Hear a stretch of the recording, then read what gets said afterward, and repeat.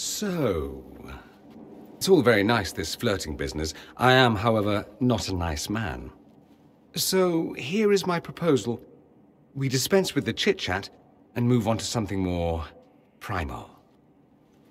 It'll set tongues wagging, of course. Not that they aren't already wagging. I suppose it really depends. How bad does the Inquisitor want to be? Do we need to move things this quickly? Quickly? By my standards, we've been positively chaste. It seems a little sudden. What is it you want from me exactly?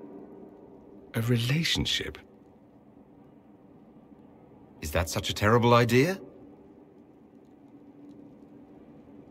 You're speechless. It doesn't happen often.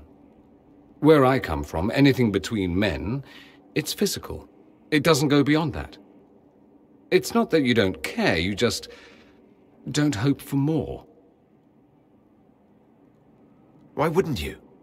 What's the worst that could happen? You say that like it's a simple thing, easily imagined. I have no examples with which to compare. So, you want to call it off? No, it's just... You're asking me to turn into a unicorn, and I don't even know what one looks like. I'm not asking you to change. Fine. Have it your way.